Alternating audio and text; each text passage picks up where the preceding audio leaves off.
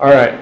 So why is type 0 going undetected? This was originally from a, from a talk called Rootkits Are Lame, but Defenders Are Worse. And so it's talking about the fact that you know, rootkits don't use necessarily, a lot of the things in the wild don't use particularly advanced techniques, but because defenders, other than yourselves who are now learning them, because defenders don't know these techniques, they just, you know, go hidden when they should be easily detected.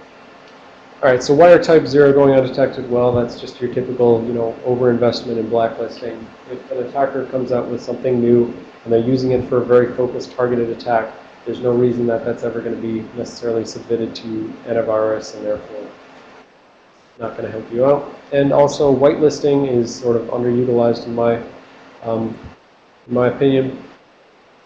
But I think the reason it's underutilized is because you know, historically the level of effort associated with each was that, you know, blacklisting antivirus, you buy it, you install it, you're essentially outsourcing the knowledge about your systems, right? You're saying, hey, AV company, it's your job to tell me what's good and bad, right? Whitelisting, it kind of has to be an in-source kind of thing. You have to have administrators who are keeping track of, you know, changes throughout the corporation where uh, you know, they're responsible for saying, is this good, is this bad? You know, that running down all of those changes and determining are those malicious or not, that's definitely a lot of effort. I, I feel that, you know, it's really more of a front-loaded effort, and that's kind of what keeps people out. It's like the, the magnitude of, you know, take a corporation of 7,000 people and figure out what should and shouldn't be there, especially when we're starting from, you know, messy systems, right? It's a lot easier if you start from, you know, for all new images that we pass out, we have them whitelisted. But if we try to like take everyone's existing system with all their miscellaneous installed, that's certainly front-loaded effort. But I think it's entirely tractable when you know people get tired of dealing with the exponential growth in malware, right? So there's plenty of uh, data from AV companies that say, you know, the number of malicious. It's mostly due to polymorphism and not due to like people making completely new families of malware, but due to polymorphism, the fact that they just, you know, run something through a packer, they get a new thing that bypasses AV signatures, and that's, you know, one new thing on the AV's chart of uh, unique samples found, right? They just kind of take an MD5, and if it's different, they call it unique. And they're showing that there's sort of exponential growth. So at some point, hopefully, defenders will feel that it's not worth trying to play catch up with exponential growth and rather just go with the linear growth that is the uh, number of software variants that we have on our internal systems. That's my pontificating with that. Um, so type 1 malware. Going back to the taxonomy, we said type 1 malware is something which changes data which should be static. So this is data that should not be changing, but it's getting changed anyways.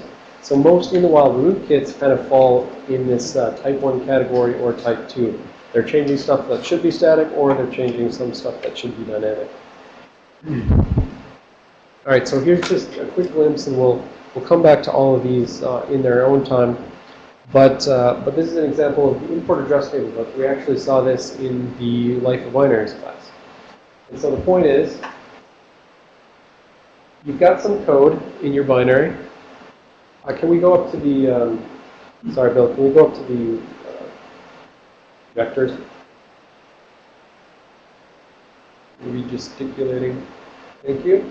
The point is you've got some binary here. In, in the Life of Binaries class, it was taskmanager.exe. Taskmanager.exe is going to go out and try to find a list of the currently loaded processes, right? So it called like uh, ZW query information or something like that, NT query information, let's say. I don't remember the exact one. So there's some code which is going to call an imported function NT query information. Somewhere inside that binary, there's an import address table, which is just a big list of function pointers to those things which are imported from DLLs. So NT query information was imported from, I think, ntdll.dll. So normally the way it would work is task manager calls NT query information, and it calls it indirectly through this function pointer. So, so it says call whatever function pointer is here and that would normally point at NT query information in ntdll.dll. But in that class, we had installed a DLL. We had injected a malicious DLL where it went in and changed the import address table and it redirected it to the attacker's code. The attacker then called the original, and the original returned to the attacker's code, and he then filtered out any processes he didn't want them to see. So just it filtered calc.exe. So task manager would never see calc because this code called that code, and then it filtered the results and sent back the results to the original code. And so we're going to come back to this notion uh, at the end of this slide deck in that you can think of a lot of the, especially static manipulations, you can think of a lot of the type 1 malware techniques as sort of man-in-the-middle attacks on the host. So it's because the attacker is able to interpose here on what should have been a call, you know, straight up to that code. He's man-in-the-middle. It's redirecting to the attacker up to that and back down. So whereas, you know, plenty of people are familiar with network-based man-in-the-middle attacks and, you know, the fact that the capabilities that that gives the attacker, uh, here you can see this is one of uh, many ways that by changing static information, the attacker can man in the middle. So the import address table specifically, it's static information because we said in life binaries, you double click on an executable, the OS puts it into memory, fills in the import address table with all the functions that you ask for, and then that's done. That should never ever change again. It's just filled in. But if it changes, if an attacker comes in and redirects it, then you know that's something which a defender can come along and look for. And so we'll see some of our tools show that type of change later. All right, so SSDT is the System Service Descriptor Table. on Windows, like on uh, other operating systems, the kernel typically exports some set of functions to user space because the kernel is the one who's going to access all the hardware. Um, you know, that's kind of the thing that, uh, the kind of, one of the points of uh, kernel separation is to say, okay, I'm the kernel, I'm now in charge of mediating all access to hardware. user space programs, you're, you're required to go through me. And so on Linux or, or you know, Mac or Windows, there's like a system call table is what you'd see it called on Linux. And, and this type of attack existed in Linux systems before people got around to making you know, rootkits for, for Windows that used kernel separation. So the point is, there's some list of functions that the kernel exports. Things like, what is here? ZW create file. so in order to access the file system, you're accessing, you know, hard drives, so you're accessing hardware. So user space code may not just go out and write to the file system. User space code must call some function to talk to the kernel, and the kernel then goes and accesses the file system and sends back in. And so how this works is normally there's something like the user would just, a user space programmer would just see this called like create file. Create file would eventually redirect to something like ntdll.dll again, which would call into the kernel. The kernel then has a big array of different uh, function pointers for different things that it's exporting to user space. In this case specifically, uh, before you call to the kernel, this thing said it set up EAX with hex 25, and that the convention that most of the OSs use is that just EAX is, EAX register is the index that you're asking for in terms of, uh, in this array of different functions here. That's why this is hex25 here. So you set it up, you say, I want to call function hex25, which this code just knows it corresponds to create file. It calls function x25, and normally this function pointer would point up here at the NT kernel proper. So that's where the implementation is usually done for the create file. But again, the attackers come in, replace the function pointer, redirects it to himself. Maybe he goes up to there, maybe he doesn't. But he's basically man in the middle of this call to a uh, kernel function.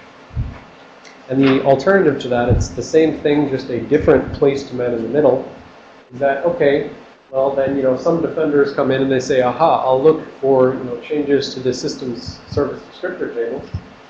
But instead of changing that, you can instead let it go to the original code but then this, he does what's called an inline hook, where inline in the actual code that would be the implementation for that function, he puts a jump instruction, which just immediately jumps to the attacker code. He does whatever he's going to do. He takes the instructions that he overwrote in order to put in that jump instruction. He executes those before he's done, and then he just jumps back and executes the rest of the code. So just another way to man in the middle. And when it's an inline hook, you're actually overwriting existing code you, you copy the code that you overwrite because you still need to execute that eventually. But in the case of inline hooks, the attacker has to be able to, for instance, disassemble the target. He knows that, for instance, his jump instruction is five bytes long, so he says, I need to copy, you know, at least five bytes of code, but really I need to, you know, stop on boundaries of, you know, instruction granularity. So in this case, he gets lucky in that this is two bytes, one byte, two bytes, And that, those three instructions just happen to correspond exactly to five bytes. And so he just needs to copy three instructions.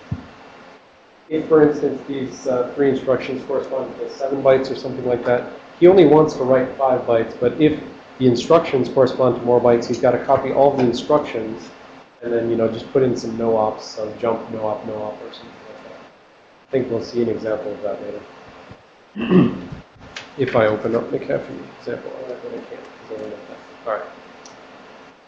So these are all just examples of something that shouldn't be changing. So in these first two things, IAT hook, SSDT hook, these were both cases where there's a, a table of function pointers which gets set up once and it never changes again after that. If an attacker comes in and changes it, he can man in the middle, but a defender can come in and say that should not be changed. Same thing here for uh, code that's mapped into memory, with, with some small exceptions where there's polymorphic code.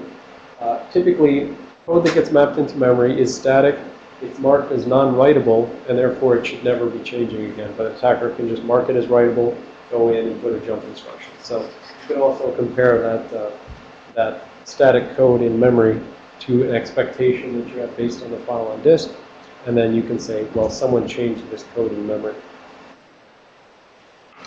All right, so that, those were some static things. This is another static thing, actually. So the master boot record, um, the bootkit uh, is just the infection of the master boot record. This is sort of the overall process by which um, a system boots. So I said you start with the BIOS. I can't reach that, so I'm not even going to go up there and point at it. You start with the BIOS, right? And I said when the BIOS is fully done, that it goes in and reads the first sector of the hard drive, which is the master boot record.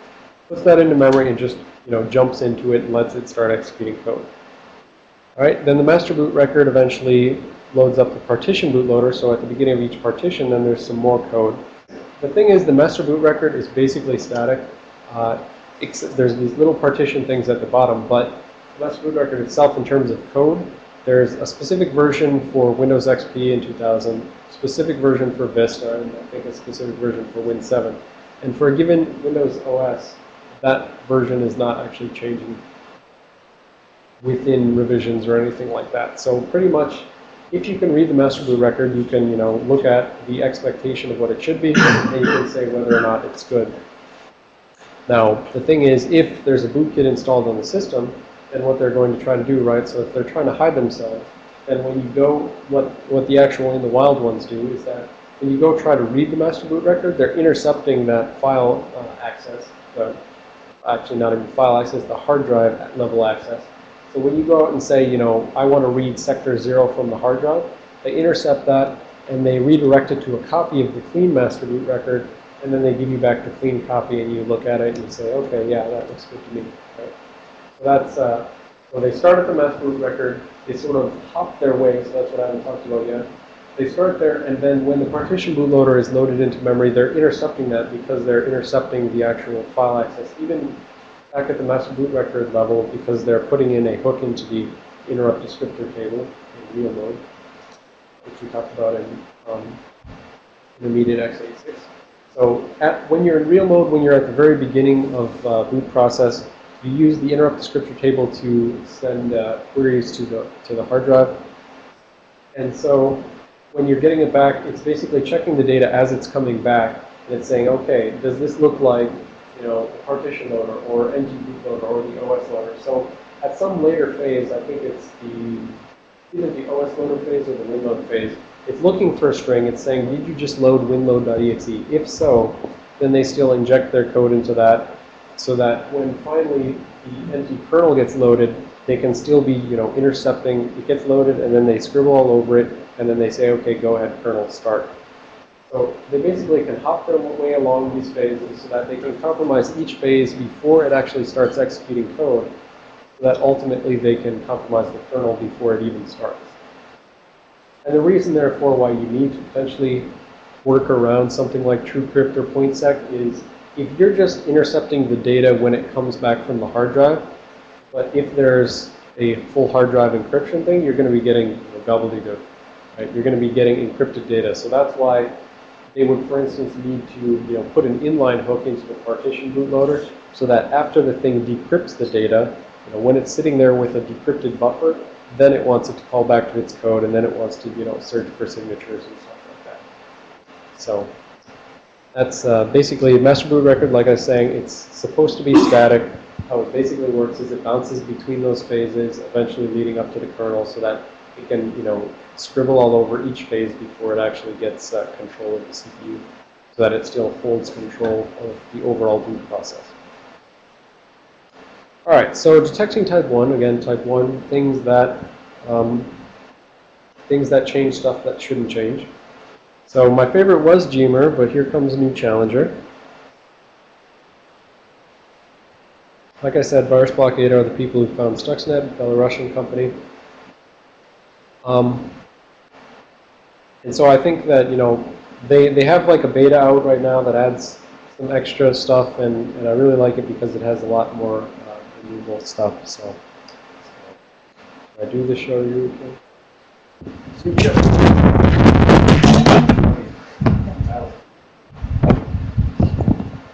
See, it's mostly all about uh, embarrassing my wife. She saw me the other day, like on the video, shouting, you know, this is intermediate x86, stuff like that. So, the important thing is she just cringes and one's for you, honey. All right. So, we are still, so like I said, I found VBA like Friday before the uh, Monday class. So the, the, the, class notes are still built around Gmer, and but I will, you know, at appropriate times show that Gmer can't actually roll back this change. Let's install VBA and uh, and show how we can remove stuff. But there's all these different things, Tuluka, Gmer, things like that. Some of you found these tools by Googling, some of you didn't. But you know, had you stumbled upon something like Gmer, you would have found you know that many more results because uh, it looks in more places than some of the other stuff. Uh, and then, like I said, these are reused slides. So some of them are um, shout-outs or reference or whatever you want to say. Some of them are just uh, talking about some academic work because I was giving the talk at Purdue, and so I was like, oh yeah, and those Purdue guys, they made VMWatcher. So uh, VMWatcher would be something where, for instance, if you're trying to detect ring zero things, you just go to level ring, neg ring negative one, and you see everything that happens within the OS, right? So you're outside of the system looking in, and you can detect those changes because as long as you assume that the virtualization barrier holds up, then the attackers in the guest OS, you're outside of it, and they can't mess with you, but you can mess with them. So that's basically what VMWatcher does. Microsoft had a thing called Strider Ghostbuster where uh, it was trying to look for things specifically hiding their files, and it was using what's called cross-view detection, where the point is you look at something from two different perspectives. And so in this particular case, uh, what you could do is you could say, you know, just give me a listing of all the stuff on the file system, and then boot into a boot disk, and then give me a listing again. So like a Linux boot disk that understands NTFS. The Linux boot disk is not going to be under the control of the rootkit necessarily. Uh, but you know, typically the way the attacker is hiding is if they're in the OS, you know, intercepting all those file system reads. Well, when you boot into you know Linux OS, they're not intercepting the file reads. So you get the clean view from the boot disk, you get the dirty view from within the OS. You dip the results, and then you say, okay, know, anything that shows up in the Linux via, in the Linux uh, boot disk that didn't show up inside, that means there is a rootkit hiding this file. Right? And actually, someone you'll see when I distribute the anonymized uh, write-ups, someone did actually go to this level and they used like a Knoppix CD where they booted from the CD and they did a file system view from inside outside. So they essentially did the equivalent of what Ghostbuster did, which is fine because Ghostbuster never actually got released. So uh, in terms of, so that was detecting type 1, so we're going to cover a bunch of that in this class anyways. In terms of preventing type 1, well, there's something called PatchGuard or kernel patch protection, which is a technique built into Windows x64. And the point of it is that they are looking sort of for those static things, these type 1 things, and built into the operating system is checks where when it gets started up, it will, for instance, it initializes the SSD key, and then it takes, you can think of it as taking a hash of it and it stores the hash somewhere hidden where it's obfuscating what's going on. And then they periodically check the SSDT. And if it ever changes from that first clean hash, then they just immediately blue screen the system. So they do that for things like the code. So, so essentially they're doing it for things like this. Just saying, check the entire SSDT, and if it ever changes, blue screen the system. So one, to some degree, it's the people on the phone. Check the SSDT, and if it changes, blue screen the system. To some degree, that's to detect rootkits and stuff like that. To a larger, I think, degree, it's to get third-party software off of these unsupported ways of doing things, where, know, because rootkits hook the SSDT, but so do a bunch of security software and other, you know, legitimate programs, as you may have noticed in your homework VM. You go and you look at a bunch of changes, and some of them look like they're associated with, you know, ZoneAlarm and uh, Trusteer Rapport and uh, what else was in there? Daemon tools, stuff like that, right? Microsoft is, you know, saying these are not the supported mechanisms. We're giving you APIs. If our APIs are insufficient, come and work with us and stuff like that. So if you look, you, can go find articles like when they first came out with PatchGuard, where all the antivirus companies were up in arms saying, you know, how can we check for, you know, viruses if we can't, you know, intercept all the file system access and registry access and stuff like that. But, uh, but Microsoft eventually came out with, you know, more robust APIs to do the types of things that they need to do in order to detect. And so they're really trying to push people away from these unsupported things. So they're saying, look, security software, stop changing that table. That should be fixed. Changing, putting jump instructions in the middle of, you know, my kernel. You know, that should not be changing. And so if you do that, then it blue screens. So they check like IDT, GDT, static code, SSDT, stuff like that, and they functionally take a hash at when they first set it up, and then because they know it should never change again, if they come back around later, they just sort of periodically check. And uh, if it's changed, you get a blue screen. And so that's a good way to push the uh, tools away from using those sort of mechanisms. Now, that said, like I said, there's some level of rootkit detection capability for that, but maybe that's insufficient because things like bootkits, because they boot up, because they start up before the entire operating system starts, there's in the wild rootkits, the TDSS rootkit. Um, it's something that supports x64, x64 systems. It installs to the master boot record. It hops its way along the thing. And the first thing it does before the operating system starts is so the operating system is loaded into memory. They go search it and they say, you know, I'm going to disable the checks for signed code. So the checks which force you to, to have uh, signed drivers. And I'm going to disable PatchGuard. So PatchGuard doesn't start up and then signed drivers don't, drivers don't have to be signed. So then they can just use all the same mechanisms that they would use on a non-PatchGuard system. And so that sort of, like I said, pushes attackers, in, some cases it pushes attackers to type zero where they maybe just want to hide in, in plain sight. In other cases, they're maybe going to change just dynamic stuff. In this case, uh, the attacker is still a type 1 attacker. He's still just changing the master boot record, which shouldn't be changed. But because he's there before the operating system even starts, you know, he wins. So just turn it off. That's what he does.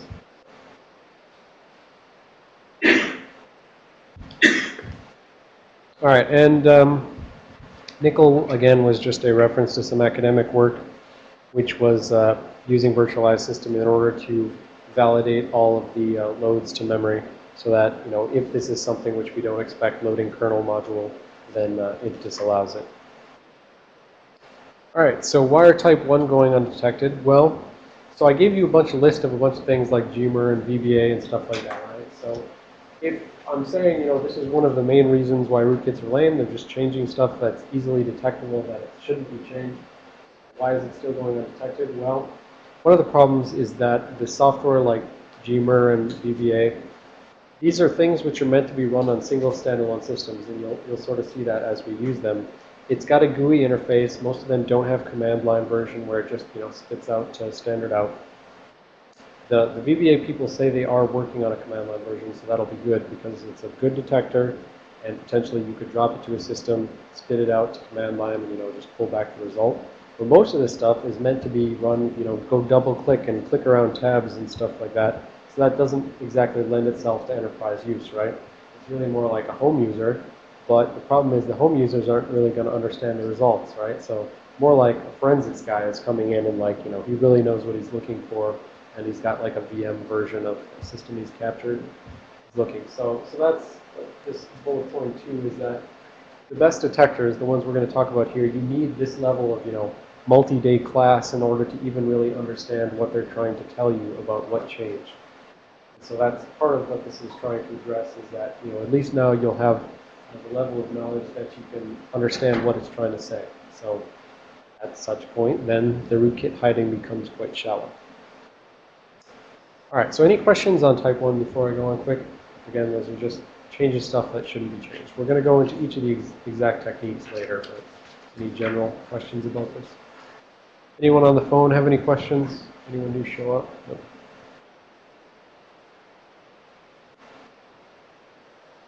Alrighty. So, type 2 malware. So, type 2, like we said, was changes things which are potentially dynamic. Uh, these are things which are meant to be changing. And so, the, the most common example of this is direct kernel object manipulation, or DKOM.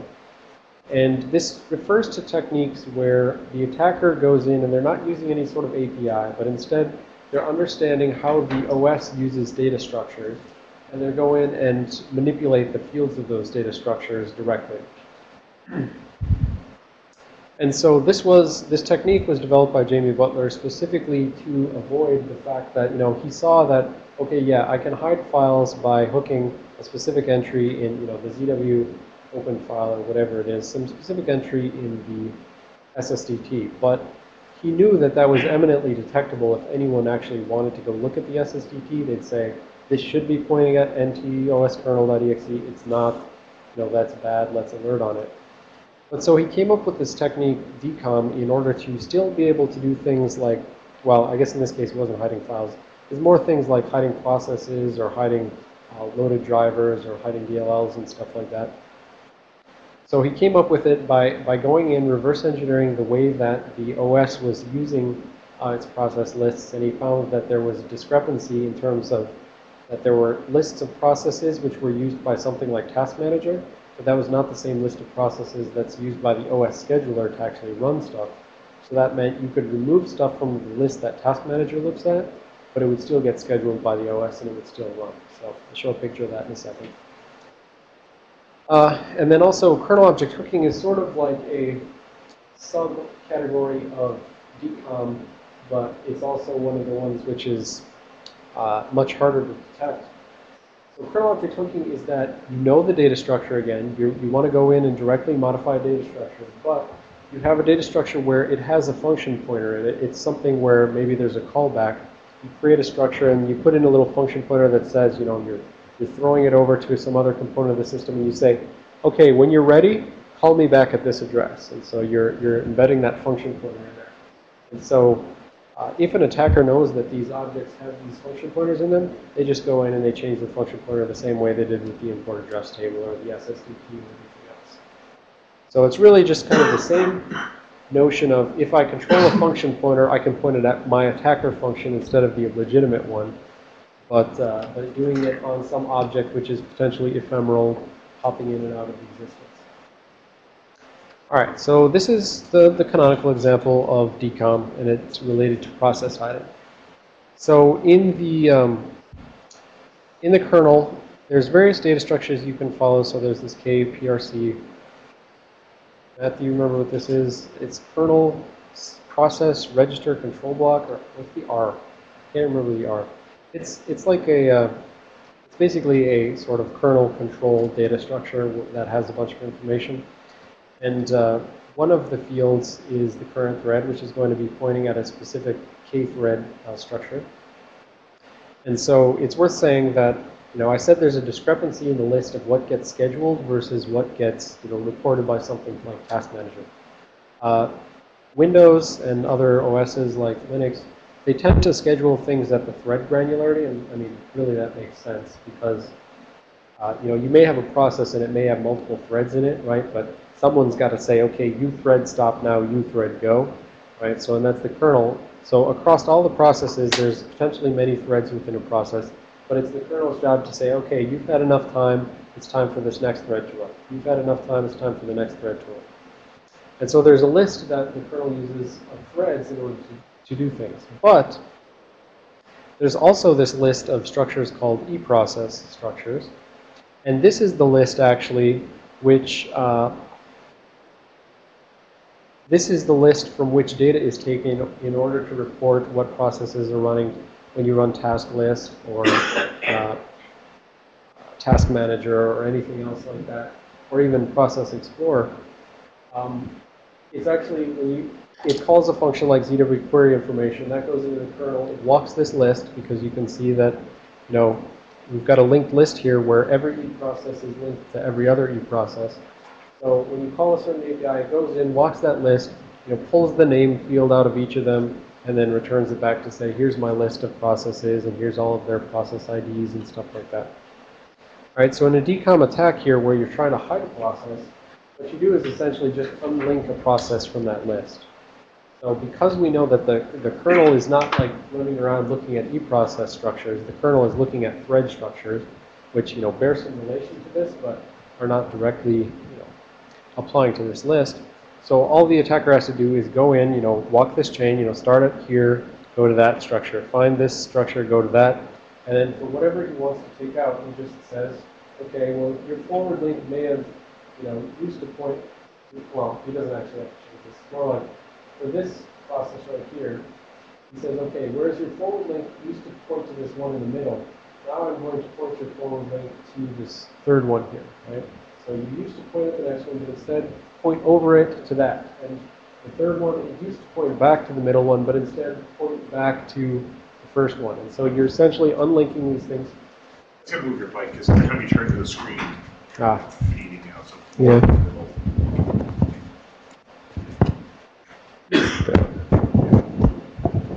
Yep.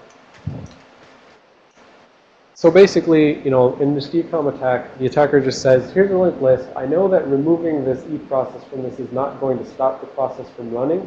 So I can just remove this and it will stop it from showing up in task manager. And the only way the attacker can know that is by going in and reverse engineering and seeing how stuff works. And that's why it's direct kernel object modification because he goes in directly.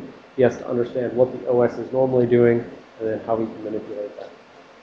And this sort of, this unlinking is the most common form of DKOM. There's, he also talked about things like uh, um, privilege escalation type things where you can say, you, if you know this is the, uh, the data structure that holds your privileges for your process, you could just, you know, set it to maximum privilege. That's another case of, you know, directly modifying a uh, kernel data structure. But I just, I'm not going to talk so much about that because that's less related to, to the hiding side of things, right? So this is more where you definitely are hiding something here, but, but there's other things like privilege escalation which are tangentially related. All right, and so then kernel object hooking, this was uh, described by Greg Hoglund, and like I said, it's basically, uh, can we go to the board?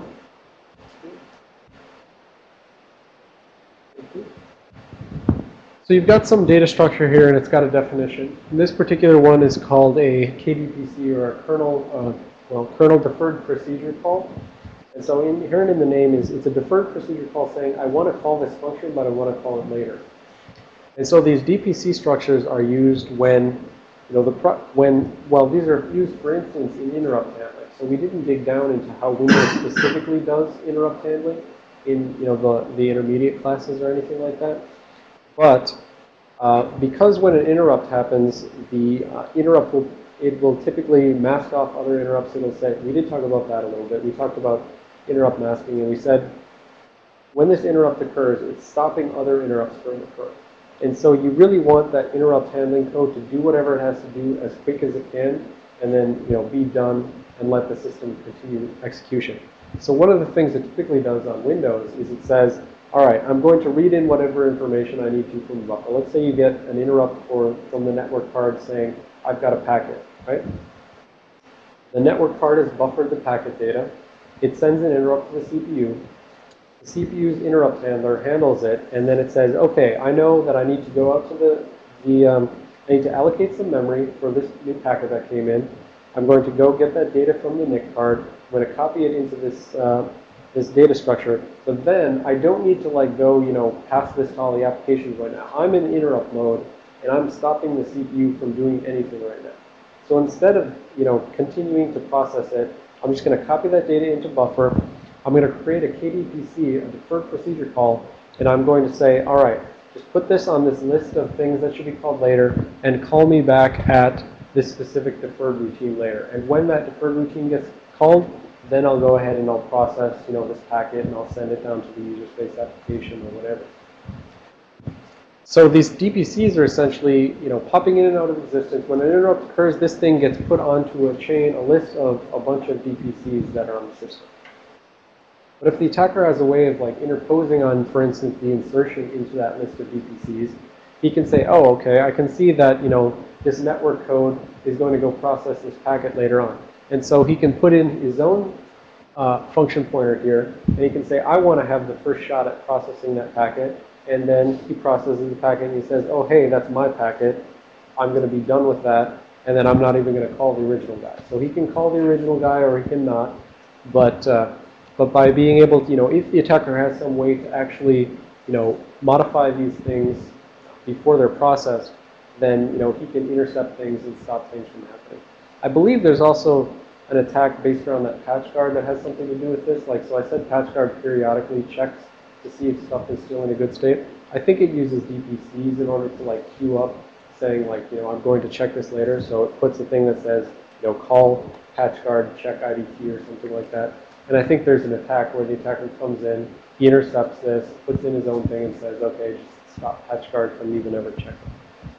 But so that's one example. And at the very end, I don't know if we'll ever, if we'll have enough time, but if we don't, there's some optional material at the very end of the slides, which you can check out where I talk about a couple other types of kernel object hooking, uh, a couple of which are actually in the wild. I found references to how they're being used by various rootkits, and, and I wasn't uh, I wasn't aware that those were in use in the wild right now. So. All right, so so those were type 2 type things like DKOM, where maybe you're manipulating things, removing stuff from lists in order to hide stuff, or kernel object hooking, where you're going in and Again, just redirecting function pointers to, to point at the attacker code. All right, so how do you detect this types of attack? Well, in the case of this canonical DKOM, hiding processes, hiding drivers, stuff like that, uh, you use techniques again like cross-view detection is what we call it generically when you just look at something from one perspective and you look at it from another. So we talked about Go, uh, Strider Ghostbuster looks at the file system from two different perspectives. Um, you can look at, you know, the running processes from two different perspectives as well. So, for instance, you could look at it from the thread level, right? You could say, here's all the threads, and oh, hey, I see there's some threads that aren't associated with any process in that eProcess list. Maybe that's suspicious. There were other things uh, like Blacklight, which was one of the earlier things that was looking for um, DKOM attacks. And it had done stuff where it actually did a, a brute force over all of the possible PID, uh, PIDs process IDs, it just tried to open PID on every single PID possible. And so if it succeeded, then it would say, okay, here's my list of processes. Based on everything I'm able to open, that's my list of processes. Based on calling, you know, it wasn't actually calling that ZW query information, it was calling another equivalent function, but just call the operating system to get the list of functions. That's my second list, and then compare those two lists, and wherever they differ, that means there's a hidden process. So it turned out that, at least in Blacklight's case, because this, uh, this PID brute forcing, it worked because there was actually this other table that it was implicitly using behind the scenes, uh, a table that essentially had a single handle per PID. And so the original FU rootkit, which did this DKOM attack, it didn't know about that table and it didn't remove the entries from that table. And so that's why, why Blacklight could go ahead and open up a handle to a process even though it had been unlinked from that eProcess list. But then uh, uh, Peter Silberman? Peter Silberman, another person came along and improved uh, the FU rootkit in order to recognize that, okay, the reason Blacklight works is because behind the scenes, the opening process actually consults this little table of handles for every process. So he comes in and he removes it from that as well, so that no longer will this PID brute force work. And then he has to play some other tricks to do it, but but then that was, you know, a back and forth where eventually this FU rootkit would uh, be hidden. But but there's still other ways like checking all the threads and stuff like that. Or you can, uh, we talked about in the intermediate class the notion of page faults and stuff like that. We said when you run out of physical memory, right, you take some physical memory and you swap it to disk. Right, so that's your swap on Linux and stuff like that, or you page it to disk. you can take an intercept on that function which moves data in and out from disk to memory. And, you know, when you see data being moved out to disk and you see someone was executing there, you can say, I've got executable code here, but that doesn't correspond to any of my processes, so maybe there's a hidden process, or maybe there's, you know, just a hidden thread or something like that. So there's various ways you can use cross-view detection to look from two different ways instead of just consulting your one e-process list. And like we said, you know, you, you really, with cross-view detection, you want to go with something that's as invariant as possible. So in the file system case, we said, look, the rootkit hides the files from within the Windows OS. But when you boot up to a clean Linux system where you know it's, you know, built from a clean state, they're not, unless they're, you know, hooking the master boot record or something else where they're really early, the invariant there is that, you know, this should be a clean thing and you shouldn't be able to hide your uh, files when you're booted into a Linux CD, but you can from the other. So that's kind of, you know, that should always detect it. Similar thing, like we said, in order for the process to get any, you know, the thread to get any time on the CPU, it must be in that scheduler list, right? So that's sort of an invariant thing where, yes, they can hide themselves from other things that we process, but they're always going to be in the scheduler list in order to uh, get time to run. Now, I say that, and for the people who watch this on the internet, eventually they'll say, no, what about that other thing? I know about that other thing, but I'm not talking about it.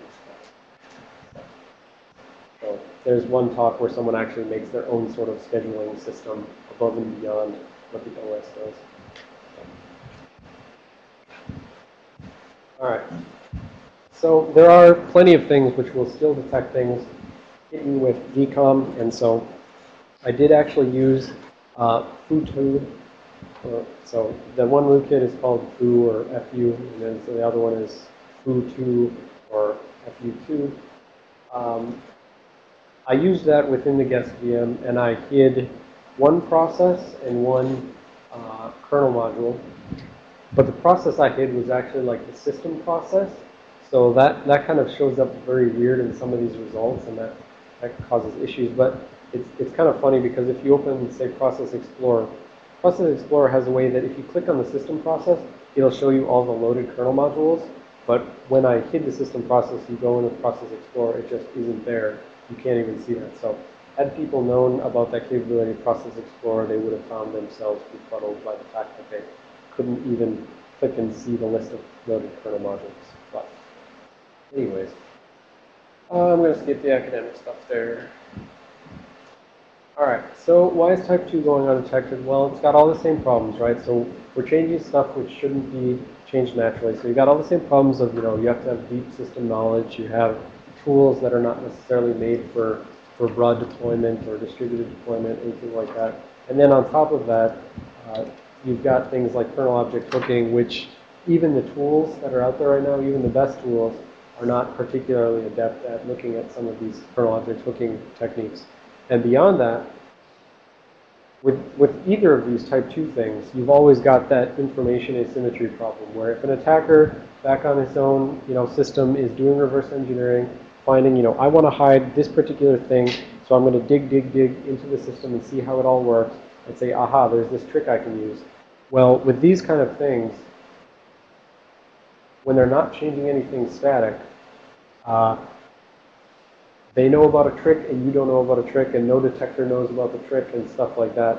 That's kind of one of the areas from which, you know, rootkit hiding comes, right? Knowledge that they have that you don't have and nothing ever looks there. If you knew to look there, you could detect it, but you don't. And so that's why, especially on the kernel object hooking side of things, that is definitely a sort of uh, arms race.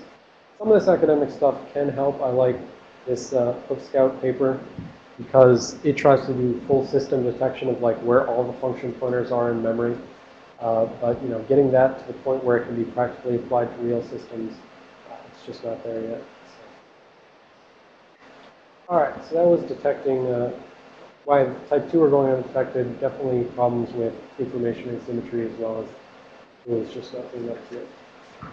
All right, so then uh, type 3 malware. I think I through this. All right, so type 3 we said is anything which is outside of the operating system. That was how she defined uh, type 3 malware. So that pretty much covers all of this ring negative 1 and below. So again, I said she was originally thinking of this for, for the technique she had come up with at the time uh, for doing a ring made negative 1 rootkit, but you can see how everything else potentially yields the ability to uh, manipulate the system before it actually even starts. So this is uh, Joanna Rutkowska's ring negative 1 uh, type rootkit. It was called Blue Pill uh, in symmetry with the red pill sort of technique, which I believe we saw in Life of Binaries. So red pill was that thing which detects whether or not you're currently in a virtualized system, out of the matrix, right? So detect whether you're in a virtual system. Blue pill is where you're staying inside the virtual system or you're, you know, forcing someone into the matrix here uh, in this sort of attack. So, and I can't reach that high. I don't have a pointer. So, with blue pill, you've got a system running along at this top arrow going vertically saying this is a native operating system. This is just Windows XP running on your desktop right now. Right? At some point, the attacker gets onto the system and calls Blue Pill in order to insert itself into the system. What Blue Pill does specifically is, in this case, it enables enables SVM, which is the uh, AMD. So this this original proof of concept was AMD specific. So it enables the AMD hardware support for virtualization. It prepares a virtual machine control block. This is sort of the data structure that a hypervisor uses in order to virtualize a guest OS system. And then it says, all right, I'm going to start running my own code as the hypervisor. So I've got some code. I want to initialize and set up the hardware support to say, this code right there, that's the hypervisor. And you know, that's my code. I'm the hypervisor now. And then it basically executes this return to return back out to the guest OS. And so it set itself up so that it's the hypervisor, and your guest OS is now being controlled by the hypervisor. You've got this VM control block saying, you know, this memory is guest OS now. This memory is hypervisor now. And so it returns back to the operating system. The operating system executes as normal. You know, it thinks everything's the same way it always was, but Blue Pill has now set itself up to interpose on certain operations you know, maybe it wants to see CPU ID things, maybe it wants to see timestamp things, whatever it wants to check, you can potentially intercept actions that are current inside the guest OS. And your, you know, your system looks no different, right? There's no you know, VMware interface to control it and stuff like that. It's just a hidden hypervisor that's controlling the guest OS. Your guest OS can't read its memory or anything like that. That's kind of the point. The hypervisor is supposed to be isolated from the guest OS, right? You're not supposed to be able to attack the hypervisor or escape the hypervisor or anything like that. So it in inserts this isolation barrier between itself and the guest OS so that, you know, ostensibly you're not able to detect it at this point. Um, well, I, I want to skip right to detecting and then I'll go back. So due to there being a lot of, you know, due to some people feeling this was overhyped and that she was claiming that the, um, she was claiming that, you know, as long as Intel and AMD have implemented the hardware support for virtualization properly, then there should be no way to detect that I'm virtualizing the system. But, you know, a lot of people came out then with, you know, papers, this um, Intel Joanna virtual rootkit is dead, and especially this compatibility is not transparency. Uh, the fact that you can install, you know, the support for virtualization, it's meant to be compatible. It's meant to make the guest OS work the same way that it always works. You know, it's supposed to be transparent to the guest OS, but it's not transparent in the sense that the guest OS can never find out that it's in the hypervisor. I mean, she kind of showed that with Red Pill. You know, she showed I'm within a hypervisor, or I'm virtualized right now. I can detect it through, you know, quirks and foibles of the system. Now, that particular one she detected could have been fixed so that you can't use it. And there's like a whole bunch of little tricks that you can use, but most of them can pretty much be fixed. But uh, both of these papers basically focused on um, using timing side effects on the system in order to detect it. So whereas, yes, the rootkit can you know, intercept your act activity within the guest OS, but that's going to take some amount of time, and then it's going to let the guest OS resume. Well, in the simplest possible case, you know, you could just do something like an RDTSC instruction that we learned in the in, uh, intermediate x86 class. We said that's the timestamp counter tells you how many ticks of the CPU have occurred, right? And you could say, well, on my normal, you know, whatever it is, 14 duo with, you know, 3 gigahertz, I know that a CPU ID instruction should take, you know, 100 ticks or something like that. And so you do a CPU ID instruction, and you see it's coming back with like 400 ticks. Well, that's like dramatically more than it should ever take. Maybe there's a hypervisor intercepting things. You can try doing a bunch more things. You know, you run it, you know, a million times, you average the time. And uh, at some point, you can get uh, a notion that there is something going on in the system. The timing behaviors just uh, doesn't make sense. Now, that said, the attacker can intercept that RDTSC, and they can say, oh, well, I also know that CPU ID instruction should take approximately 100 you know, ticks on this system. So I can intercept your RDTSC or your CPU ID, and I can subtract out. So the hypervisor does actually have the ability to manipulate the data coming back from an RDTSC. So it can say however many ticks it wants have elapsed. So there's various back and forths here, but really most of the things ultimately focused on stuff like timing behavior, which uh, the VM can't really intercept every possible source of timing everywhere. You've got external clocks and stuff like that. So ultimately, they come down to being detectable. Now, that said, this is a great example of, you know, it's technically detectable, but can people actually detect it in practice? You know, if you want to go out and search for ring negative one rootkits today, can you? Well, there's some code that, that says it'll do that, but, you know, I've run it on physical systems, which I believe are not virtualized. Maybe they're not, but they came back with false positive results. So just because some paper says, you know, hey, yeah, now ring negative one, you know, that's all just, no one would use that because it's easily detectable. Well, they can say that, but unless the tools are actually available in practice to put it out there in the wild, um, this type of thing is still going to go undetected. All right, so that was ring negative 1. This would be ring negative 2. This is talking about SMM. And I think I used this in the newest version of my intermediate x86 class, but if you took it last year, you didn't see this. Bill, can we go to the board? Or, sorry, the projector?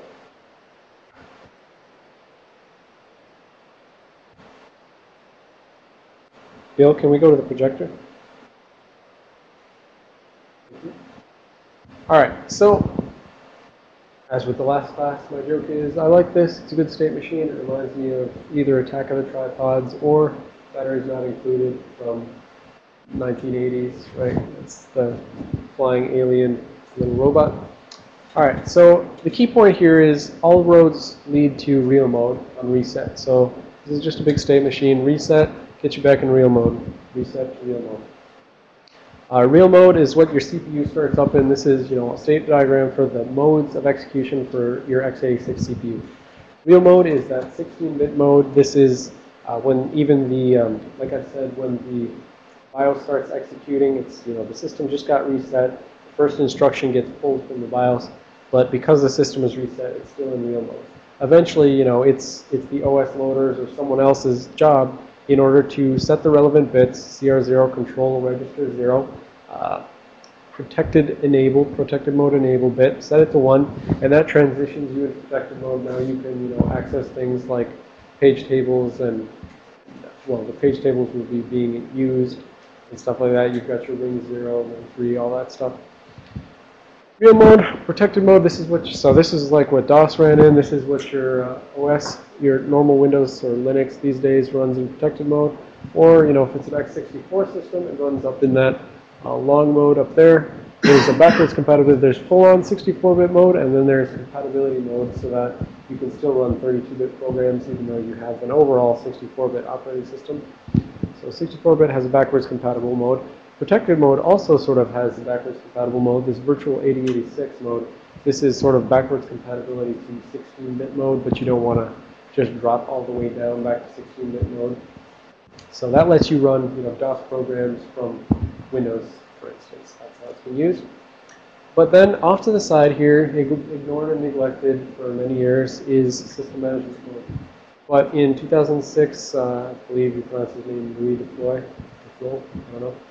Uh, in 2006, someone showed that you can use system management mode in order to bypass some internal OS controls within OpenBSD. So OpenBSD is a very security conscious BSD distribution. And so they're actually locking down and partitioning memory internally to say, you know, I don't want to allow kernel modules to scribble all over everything. But he showed that, you know, if you could get out to system management mode, which circa 2006 you could on some systems because the BIOS wasn't actually locking it down properly. So if he could get out here, he could access all memory everywhere, and that meant he could change the OS as desired. So we consider ring negative 2 more privileged than ring negative 1 because when you get out to SMM, you can actually manipulate all of physical memory. You can access everything. You know, it's still on you to figure out how to find the data you're caring about manipulating, but you still have full access to everything, and you know your hypervisor or your OS, no one else executing in protected mode is allowed to touch your memory, but you're allowed to touch theirs. So then there's been, you know, uh, further um, Invisible Things Lab has found uh, a couple of different bugs in uh, systems which allows them to get into management mode even when it's locked. So one case was on a particular chipset, they can uh, remap some memory space to a different location, and they found that they could remap this protected memory into a non-protected virtual address space, and, uh, virtual address space, and then you know, manipulate it. Or also, they found a bug in the CPU where uh, they could mark uh, the SMM mode memory as cacheable, and then when an SMI occurred, some of the data would get cached in the CPU, and then the, there was the bug was that on the you know next write to that cached data, it would actually uh, sufficiently write it so that when another SMI occurred, then uh, it would allow the modified and written SMM memory to execute, which then the attacker uh, had controlled stuff in SMM at that point. So anyways, like I said, normally the BIOS locks down SMM. You know, earlier, pre-2005-ish is what people have said. Uh, BIOSes were not frequently locking it down appropriately. Post-2005, there's still been bugs found in order to uh, manipulate SMM. so all I wanted to, yes, yeah. So on the preventing and detecting ring negative 2 things, so one thing is that, you know, I said the core issue here that gives SMM uh, access to all of memory, that, that's the core issue. It's more privileged because you can't access its memory, but it can access everything. That said, there's built-in mechanisms uh, in the specifications for hardware support for virtualization, which say functionally you can write a little tiny hypervisor which virtualizes the code which runs in SMM. And in that way, that tiny hypervisor can lock down that code and say, no, you're not allowed to scribble all over the hypervisor proper anymore. So at ShmooCon uh, last year, I guess, there was a talk where you know, someone from a third party, from Harris, I guess, who used to be at Crucial Screw before they were bought by Harris, um, he just did a talk on how they actually implemented a protection of this, this hypervisor for SMM in order to lock it down so that it couldn't modify the system. And at that point, then it's, you know, really deprivileged and it's, you know, theoretically it's not even ring zero anymore. Theoretically, then it's just kind of completely containerized and it can't even affect the rest of the system. It can only be talking out to hardware, turning on fans and that sort of thing. Um, as far as I know, though, no one is actually implementing this right now. So, for instance, I, you know, the VMware people came through and they gave a talk on, you know, secure virtualization and stuff like that, and I came back with, all right, here's all this documentation of these SMM attacks, which mean that I can, you know, completely scribble over your hypervisor if I want. What are you guys doing to protect against this? And he hasn't been able to find anyone who's willing to say one way or the other, but sounds like the answer is they haven't implemented this uh, SMM transfer monitor or whatever it's called in order to lock down the thing. So if you have an ESX machine, for instance, on the guest OS, you use the caching bug to get out to SMM, which is just being passed through to the to the you know core SMM on the system itself, and then you know at that point you can bounce back in and start writing over uh, hypervisor. So theoretically, you know, on the detection side of things, so this, you know, the prevention side is the isolation, right? So just, you know, quote, just implement this uh, SMM transfer monitor, this isolation mechanism, and then, you know, this thing is fully locked down. Or alternatives are, you know, if you're on a system where this isn't available, theoretically, you could just integrity check the SMRAM. But then the question is, how are you actually able to read that SMRAM? And there the answer becomes you probably have to go lower than the privilege, right? We said if you, BIOS is locking it, then you shouldn't be able to get in. So either A, you have to see if your system is vulnerable and go in through the same hole that an attacker would use, or B, you have to go lower and, for instance, control the BIOS and, you know, maybe put some of your own code into SMM that periodically checks itself or other techniques. So that's SMM. And last one, before I let you have your break, uh, is that AMT thing that I talked about before. And so in, uh, this again was Invisible Things Lab, ring negative three kit talk, and they found that, you know, like I said, they had found actually one bug which allowed them to get into SMM, this remapping bug where a particular chipset version would allow them to remap memory which should be locked down to non-lockdown memory. They found they could use the same bug on this is on an AMT system in order to remap the AMT stuff into uh, its own memory and, and be able to look at it at that point. And so the issue was, you know, the bug had actually been fixed in the sense that there's a patch available that, you know, you can uh, patch the system, but the problem with any of these like things where you find an actual bug at the CPU level is in some cases, and typically, you know, microcode updates and CPU patches are pushed out in new BIOS updates. So there's a component of the BIOS where it has a microcode update where you boot the system with the new BIOS. It goes and says, hey, I've got a microcode update. It goes out, talks to the CPU, says, what version is your microcode for your internal operation? And it says, if mine on, you know, the, in my BIOS is newer, then I'm going to, you know, reflash the CPU with this update. Um, where was I going there? Mm. Oh, problem is, even if you flash the CPU with a new update, uh, potentially, and at least in this case, they claim that this was the case, you can go and flash it back to an older version of the BIOS, right? So you can just backflash it in order to put it back into a vulnerable state. So that's really a problem with when these guys found stuff in the actual CPU type thing and the chipsets and problems like that. Uh, you can reflash things back to vulnerable state. Now, the question is, you know, how do you flash things remotely, and, and that's a different problem. Anyways, um, so in the AMT case, basically the point was, we said the AMT lives in the North Bridge. It's the thing which mediates access to, to all the memories. They found that they could remap memory and analyze and stuff like that. They found there was some code which would periodically get executed even when AMT was technically not enabled according to the BIOS. So in the BIOS, you turn on AMT or turn off AMT.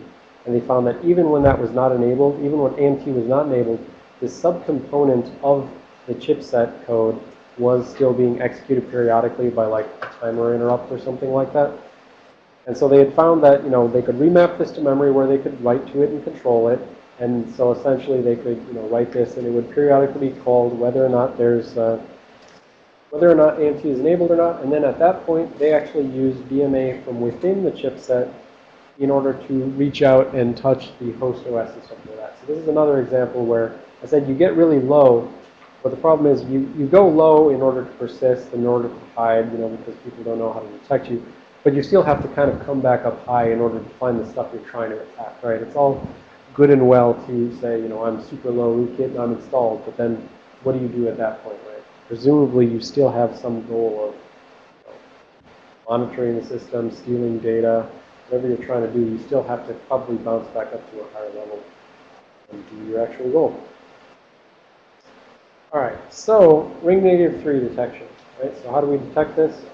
Well, theoretically, you could be there first, so you could have another piece of code in the AMT code watching for this. And this is not entirely unreasonable because uh, the year before they talked about the AMT thing, Intel guy actually gave a presentation where he said, hey, you know those SMM rootkits? I know, I can fix that because I'll live in the North Bridge and we'll run a custom firmware in the North Bridge and then that'll be, you know, searching for SMM rootkits, verifying the SMM memory, right? So the question then is, you know, if this DeepWatch thing is already in SM, is already in the Northbridge, and the attacker can get code in Northbridge, you know, who wins, right? At some point, at some level, you always come down to a point where you can you can always keep playing the game of I'm just going to get one level lower than the attacker, and that's how I'll detect them. But the attackers keep seeming to be able to get down to those same low levels. So, you know, personally, my thought on this is that at some point you have to make a stand, and that's where this self-attestation technique comes in. So there's this thing called SWATT, which was the application to um, embedded devices, SBAP. I think SBAP was, if I'm remembering correctly, I really should go look that up. I think SBAP was actually the application to a keyboard. I'll talk about that in a second. And then there's another thing called Pioneer, which uh, the application to OSs. So self-attestation or software-based attestation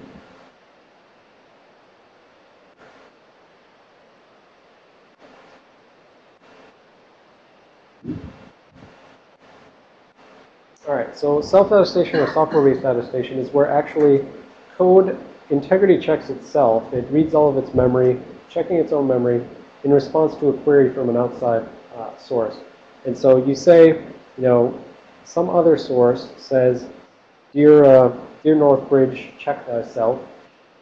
It does a self-checksum, which is supposed to take some certain, based on the code that it uses to check itself, uh, it should take a discrete amount of time in order to read all of its code, go through however many looping iterations. And then it sends back a result to whoever asked for it, saying, you know, here's my state right now, and then, you know, it can go on to check the rest of the information. And so with self-attestation, it's sort of exploiting uh, timing side channel. So when the uh, when the verifier comes in and says, you know, dear Northbridge, please uh, tell me your state, it sends a query, it sends like a nonce so that there's a fresh, uh, fresh challenge, and then it gets back a result. So it's from the time in which it sends the query to the time it gets the result back, that time should be fairly um, finite because there should only be so many CPU cycles in the number of iterations that that self-checking code should take.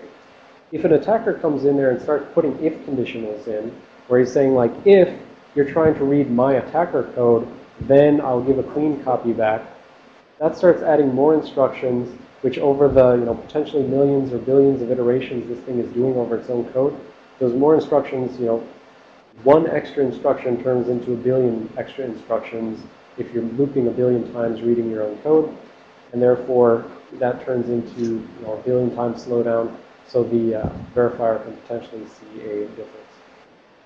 So uh, some people at CMU have applied this uh, to interesting things. So SWATT was originally for like a PDA type device. So you got one PDA and you got another PDA and it wants to say, you know, is this still any good? Got the verifier over here. It says, you know, PDA, tell me if you're good. Sends back uh, the result. And then based on the timing, it can say whether that's any good or not. In the SBAP case, there was an attack again like two years ago or three years ago at Black Hat where someone said for the um, wireless keyboard for Macs, uh, the Apple wireless keyboard, it has a little uh, microcontroller in it, and someone reverse engineered that and showed how they could essentially insert a keystroke logger into the microcontroller of the Apple Bluetooth wireless keyboard. But in SBAP, I believe, if I'm not misremembering, uh, they applied the self-attestation. They put code in the microcontroller for the keyboard using the exact same technique that the attacker did. They put code in there, and then it basically verified itself, and it was able to show that when the attacker was present, uh, it had a different timing in terms of how long it took to verify itself. And then Pioneer was the application of the same technique to a full x86 uh, Windows, uh, Linux OS in that case. Linux OS, I think. All right. But anyways, mostly the point is your SOL on ring negative 3 detection. We're not aware of anyone using it, but Similarly, we're not aware of anyone not using it because we're not looking, because it's catch-22, because, you know, I said I don't know of anyone using ring negative 1 in the wild. But who's looking for ring negative 1 in the wild that they could actually tell me if he was being used in the wild? No one's looking because no one's heard of it being used in the wild. So it's just catch-22. We don't look because we haven't heard of it. We haven't heard of it because we don't look. So, um, yeah. And also, I think a lot of this is also, for all this stuff, like ring negative one and below, maybe ring made of negative one we could see in generic use, but the ring negative two and three and stuff like that, I think if someone's going to go to the level of effort to actually deploy these types of attacks, first of all, you start getting into hardware dependencies. So it's like, you know, if you want to reflash a BIOS, you need to know for that particular BIOS and that north bridge and that south bridge.